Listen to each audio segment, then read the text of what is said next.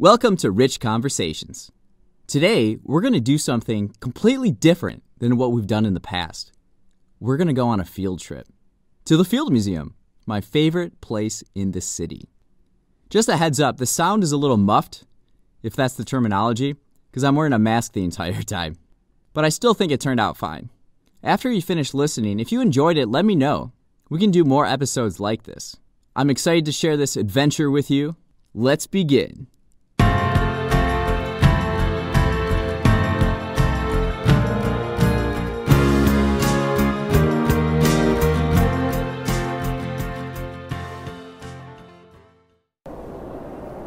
All right. So we are at the Field Museum right now, Natural History Museum here in uh, Chicago, Illinois, and it's about like what seven degrees. It's it's pretty cold. Uh, so we're out here right on the lake. You know, nothing like being right on the lake when it's it's uh, cold in early February. But I thought today we would go on an adventure because usually on the on the show we we talk about different techniques that that I've learned and then how you can apply in life. But I kind of want to show you in real time what it's like using these techniques and applying them in the moment. So I don't have anything uh, scripted.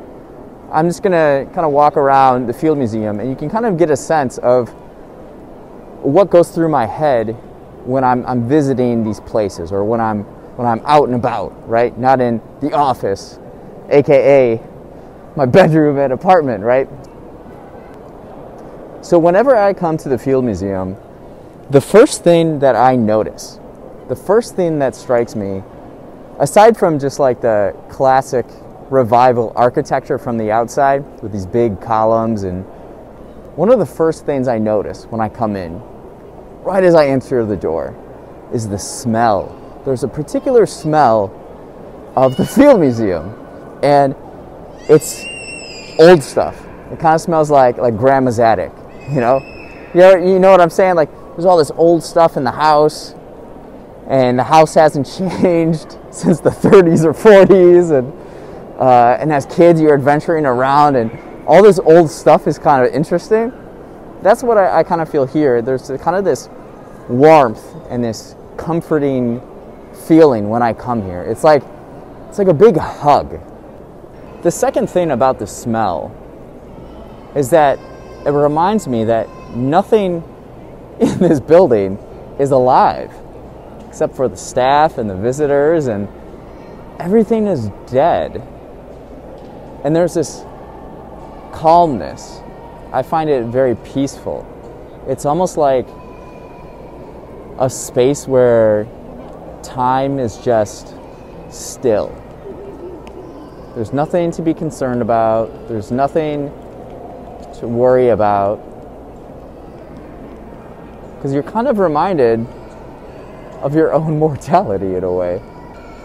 It's like you make this agreement when you come here that you leave the outside world behind while actually learning about the outside world from inside.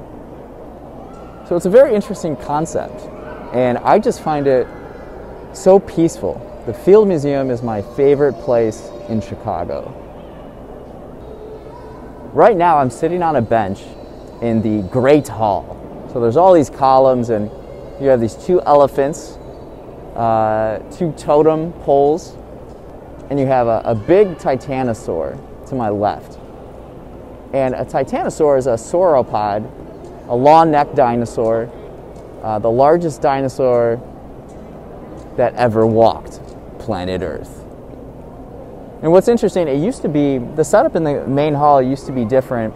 Sue the T Rex used to be down here, but they built a separate exhibit for Sue to kind of, uh, for one, after 20 years, the technology progressed so much that they could study the dinosaur more with new science and technology so they could learn more about how the animal lived and you know just its habits and, and what it ate and its life so they took the time that they were studying sue and kind of rebranded redesigned the museum So in, in place of Sue, the dinosaur, the T-Rex, they got Maximo, which is a titanosaur. And it's not the real fossil, it's a cast. And the reason why they did that is because they wanted it to be more interactive. So you can walk underneath the fossil. Um, I don't know if you can touch it, but it's a little bit more interactive. And there's a lot of children that come here, and you, you kind of have to appeal. You, you're, you're competing against the Shedd Aquarium with all these live animals. Everything here is dead, so you have to do some things. And they updated their colors to make it more visually appealing. It's kind of like bright blue on, on kind of their brochures and signs, things like that. Uh, they added these benches, what I'm sitting on right now, uh, all around. And they also added these, uh, I don't know what you call it, they're like plants from the ceiling. So you have this big space and some natural sunlight. So you have four hanging gardens that come down. And it just gives it a little bit more of a uh, lively feel. I guess those are what's living in the, in the Field Museum is the plants.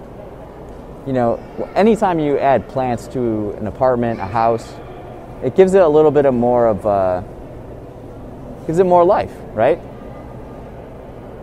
So you can see how they intended to bring a little bit more life to a place with all dead things. So as I'm sitting here, I like to just look around and watch. Watch people, watch watch what's going on. Today what's really interesting, usually when the weather is, you know, below 10 degrees, it is quiet in here. Usually I'll be like the only one that is here, and it's a very um, interesting experience with the solitude. There's this like deeper relationship you can build with all these artifacts and fossils and the entire space, just being one of the only people here. I imagine there'd be less people here, but today it's it's pretty packed and it's it's all children and parents for the most part. This is, I think, the Field Museum reopened end of January. Reopened then, and I've come here. I think this is my fourth or fifth time. What I discovered is that while I can be inside and you know I do my thing inside, I am a little bit more extroverted and I do get a lot of my energy from being around people. Even if it's not just having a conversation, but just being in a space with other people. I feed off that energy. And so here you have the requirement to wear a mask. And it feels like the people that are here, it's like, yeah, just wear a mask. Cool. We can do everything you want to do. Don't have to make a big deal about it just go about your, your life. So I feel that most of the people here are kind of in that category where it's like we want to still live our lives. Just wear a mask, you know, be safe. Let's move forward, right? So getting back to people watching though, something I notice is the diversity of shoes. So I'll look at people's shoes and, and this first, I first started doing this a few years ago when I went to member night. And um, the Field Museum, only like 10% of all their artifacts are actually on display. So there's different levels. And on member night, you can go down. Uh, I went down to like the fossils where they keep all these fossils. And there's there was this line like a mile long. And I remember like staring back at all the people that were behind me, and I noticed all the different types of shoes.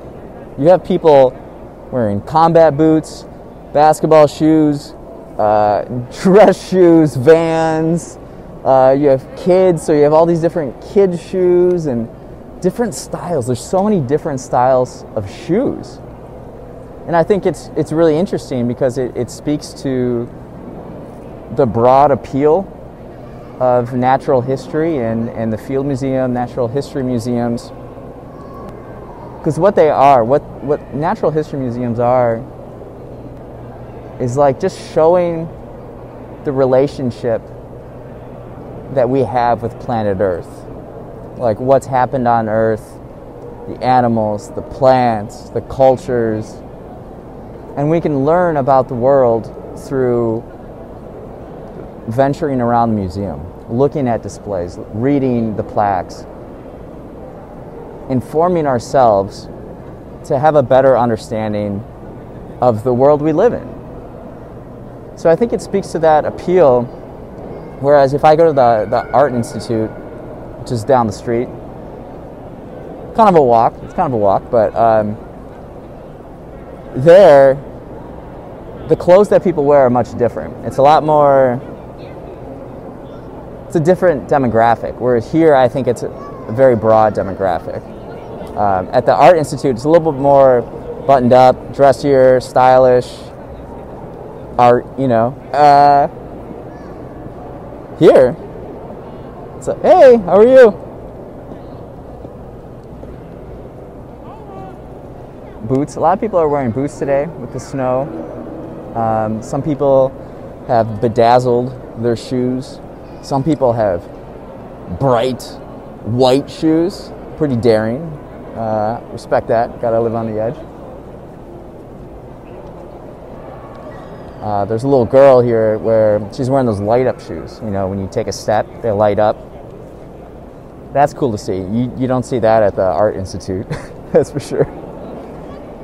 Running shoes. Running shoes are pretty big here.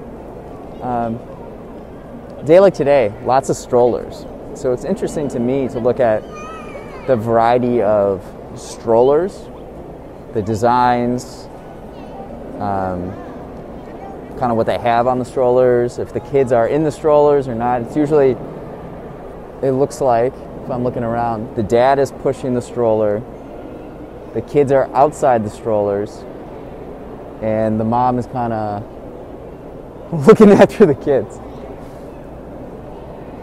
So that's something I like to do. I look, I like to look at the shoes. It's interesting to me because I think the shoes you wear it says something about you, um, especially, just like just like the clothes you wear. I mean, we could spend we could spend all day here talking about style and fashion. But why don't we go check out an exhibit? Let's go do that. So each time I come to the Field Museum, there are two exhibits that I make sure I always go through, and that's the Evolving Planet which is on the second floor, and that takes you through the history of life on Earth, and it has the dinosaur fossils in it. The second one is the animals. The animals. Uh, right now, I'm in the mammals of Asia, and here I just I love. You have these animals, stuffed animals, you know, by taxidermists. They have the animals in these kind of like display cases and so you have the animals and also, um, you know, the floor, they have it made to look like their natural habitat. And then what's really neat is the painting, the mural behind them. And I really enjoy looking at these because it really gives me a sense, it feels like I'm traveling in a way. It allows my imagination to think about what it looks like in another country, another place in the world. That's really cool to me. So here, let's look at a Bengal tiger. So it has a plaque next to it, and uh, these two tigers here are taking out a like a warthog type of thing, kind of grassy, um, kind of an open prairie. This is in uh, over in Asia. Let's, so I read the plaque. Heavy hunters rely on stealth. Tigers are one of the largest predators in Asia. A full grown Bengal tiger can weigh up to 660 pounds. However, their short, powerful legs are compact, muscular bodies are not suited for chasing prey over long distances. Instead, they sneak up and pounce on other animals, such as deer. You see in nearby other cases. So they're show, they're talking about uh, the other cases. Very meta. They're referencing other uh, displays. The tiger stripes are thought to provide camouflage when it hunts for food. And what's interesting about these displays is that they were all made in like the 1930s here at the Field Museum. So the the murals are kind of like this watercolor uh, style, and you see this with the um, the dinosaurs too. Uh, Charles Knight is a, a, famous paleo painter, and uh, he was actually like legally blind. he painted all these prehistoric images to give the public a sense of, of what life could have been like in prehistoric times. So in these displays, it's very uh, 1930s, and the colors they have this green and. Uh, what's interesting is going going around different exhibits, and then everything is telling you something, is communicating something to you, and so personally, I feel like the greens here are a little bit too teal. Um, this was in the 30s, so maybe that was kind of like a color back then. Uh, we have carpet here. I used to lay carpeting actually. My neighbor has a carpet installation company, and uh, during college, during winter and summer break, I would help him out. And one thing I noticed is the uh, the seams in the carpet. You can tell how old this, this carpeting is. And the color is like a purplish pink. Doesn't look the greatest. Something I can think about while I'm here is how old some of these displays are and the exhibits. It's, it kind of feels sometimes like, okay, we got that one, now let's just keep it that way forever, for a long time. But that's also kind of endearing and why I love being here, is because everything stays the same. I know exactly what to expect every time I come. And it just, it's something in life that just doesn't ever change. And in our ever changing world, how everything is quickly, quickly, quickly passing us by, and you know, you, you update your news feed and something there is new. Here at the museum, everything is just how you left it. Just like grandma's house, grandma's attic, right? Everything is just where it's just supposed to be. These plaques are from the 1930s, and they have a map of Asia, and they use colors to show where the original land was that these animals roamed. And then they have another color which represents the current where they are. So the current is a lot smaller than the original. And then I think to myself, this is 1934, so I'm sure the current areas are even smaller than that. And it makes me think more and more. Something I wonder about is will there come a time on earth where humans will feel lonely? Feel lonely because it's, it would be just us, domesticated animals, and we lose that, that wildness. That's something I think about is we, we got to be careful because I think it's certainly a thing. Like, what if we lose these animals? Once they're gone, they're gone. I used to watch this TV show, Kratts' Creatures, when I was a kid. And, uh, you know, during summer break, it'd be on in the morning, and uh, that was so exciting because these two brothers would go out into the wild and talk about animals and um, brought to you by Cedar Crest Ice Cream on PBS. And I just, I just loved seeing other places of the world. You know, I think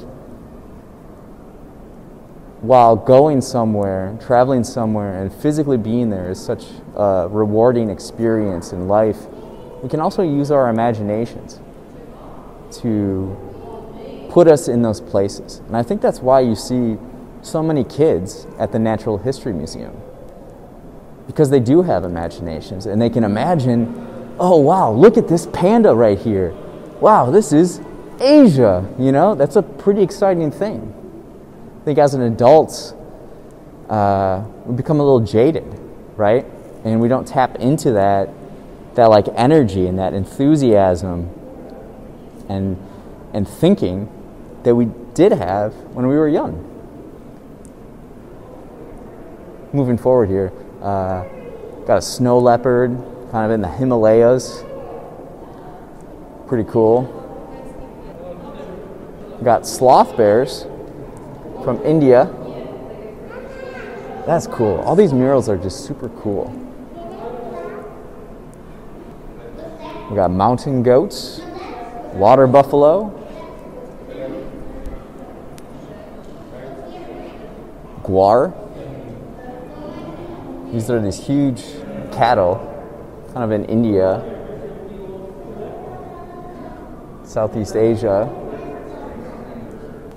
Look at that. Look at the, oh man, look at the antlers on that animal. It's so cool. Look at the mountains. Mountains are cool. If you can hear me, there's a lot of children around now, but here we have hyenas. Hyenas might be the ugliest mammals out there. What's cool though, what's so beautiful is this mural. It has this African sunset sky with purple and orange and pink and these trees. You ever see those African trees? My roommate, uh, Ken, he's working on a children's book, and, and part of it is this like African sky. And we talked about how neither of us have ever been to Africa, but we know what Africa looks like based on all these images. And it's interesting to think like, when did I first learn about the image of Africa? You know, is it from The Lion King, or is it, you know, from, is it from the zoo, or is it from the museum? Like, and that's what's what's fun. I'm sure if you're a parent, is you're you're exposing your kids to new things, and you get to see their excitement, you get to, you know, see their reactions. That's pretty cool. All right. So one of the places I love just like chilling out is this, this big room that we're in right now. And you have this huge mural of the Great Rift Valley. And that's where scientists believe humans originated out of. So if I'm looking at this, uh, this mural plaque, this spectacular mural is the work of one person alone. Canadian artist Carol Christensen spent 15 months mixing paints and applying them one brushstroke at a time. To avoid distractions, Carol painted mostly at night, arriving at the museum at closing time and leaving in the morning before it opened. She often worked 15 to 16 hours a day. Wow, yeah. Man, this takes a lot of time. What I really love to do is there's four benches in here, and I'll sit on a bench and just relax here. Relax here for like half an hour, just think about life. Just look at this beautiful mural. Imagine myself in Africa. To me, it's to me it's very peaceful, very peaceful. And you got the sound of birds chirping in here, all kinds of noises. Uh, you know, when you go through the exhibits, it's interesting to listen to the sounds that they play. And all of that, all those little details add to your experience visiting the museum. It makes it memorable. Hominid headquarters. The same geological forces that have been shaping the Rift Valley of East Africa for the past 14 million years make a great place to find fossils today. Fracturing of the Earth's crust and volcanic activity have exposed ancient sediments buried for millions of years. Within these ancient sediments, are abundant fossilized bones of the earliest known hominids, our own human ancestors. Please do not climb on the rocks. Thank you. Volcanic hotspot. The long, jagged gash of the Great Rift Valley was shaped by forces deep inside of the earth. East Africa sits on top of a volcanic hotspot which has formed a giant three armed crack in the Earth's surface. Two of the arms have split wide and deep to become the Red Sea. The third has split apart just far enough for its middle to drop down. This is the Great Rift Valley. What I'm looking at right now is the Lions of Tsavo. These actually used to be downstairs in the museum, and they were in a display case. You could read about them there. So, what happened here, I'm going to read here the Lions of Tsavo. During a nine month reign of terror in 1898, these two male lions, known as the Lions of Tsavo, preyed on construction workers of the British Ugandan Railway in modern day Kenya. By the time the head railway engineer, J.H. Patterson, stopped the Lions, they had halted work on the railway for three months, caused hundreds of people to flee for their lives, and killed at least 28 railroad workers. You know, something I think about when I, when I see these lions, you know, it's tragic to lose lives, 28 lives, but if you are going to go out, I mean, being killed by a lion is, you know, a pretty badass way to go out. There are worse things, lamer things to, to go out on. And again, going back to earlier, what we were talking about with death being prevalent in the Field Museum and natural history museums, you have to be objective about it, right? Death is something natural that occurs for all of life. And for life to continue on, death needs to happen, right? I don't know, lines. Lines isn't a. It's definitely memorable, right? I mean, you're kind of immortalized for the, the rest of eternity, you know, or until life ends, right?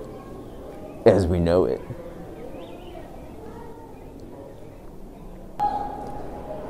I'm now back in the main hall. So to wrap up our, our very quick tour today, I would encourage people to come to the Field Museum if they want to think more about their relationship with natural history and planet Earth. Something I love about museums is, especially here at the Field Museum, is they just give you information. They don't tell you what to think or what to feel and I think in today's society, everything is always trying to tell you what, what you should think and what you should feel. And I like that this museum in particular just presents information and it allows you to get your mind going and you can think by yourself, inside yourself, and think about that, right? Some of my favorite exhibits here are the Evolving Planet that has the dinosaurs, um, the mammals and uh, animals what we just went through. It's way more extensive than what what we went through. Um, ancient Americas is a great one. Learning about how ancient people in the Americas lived and what they believed in, how they ate, and what, you know, just like the culture and everything. Um, it's very insightful and it allows me to gain perspective on where we are today and how to move forward. Ancient Egypt, uh, they have African exhibit, they have uh, Southeast Pacific. One, th- one exhibit I, I really like in particular recently is the China one. I really enjoy learning about the history of China and its diversity and ideas and culture, and uh, that's something that's really appealing to me. There's a lot of, oh man, I mean, there's so much to, to talk about and to go further in, but uh, the Field Museum started in 1921. I always thought it was like out in the field, like, you know, excavating stuff. And that's why it was called the Field Museum. But it's actually after Marshall Field. And I learned that because one time they had a Chicago World Fair exhibit, and I went through it very quickly. And at the end, I, I asked the cashier, I was like, I've seen all this stuff before. Uh, what? And she was like, oh, so after the World Fair, uh, they wanted a museum of the World Fair. So Marshall Field built the museum, the Field Museum, and then brought stuff from the World Fair here. So a number of artifacts inside the museum were actually displayed at the World Fair in 1893. And the World Fair, uh, I mean, that's a whole nother awesome event in Chicago's history, world history. It really put Chicago on the map, and uh, it's really interesting. You'll see as you walk through the museum, you'll see stickers and displays of artifacts that, that were in the World Fair. They have like a little emblem by them. They got a cafe area too, so I like to come here and grab some coffee and just sit, stare at the dinosaurs, do some work. Uh, it's very relaxing to me. It's my favorite place. Hope you enjoyed this quick adventure we just went on. Um, if you have any questions about the Field Museum or if you ever want to come, I'm a member here and uh, come with me. I'll get you in for free. You can explore together, learn about the world. Thanks for listening and have a wonderful day.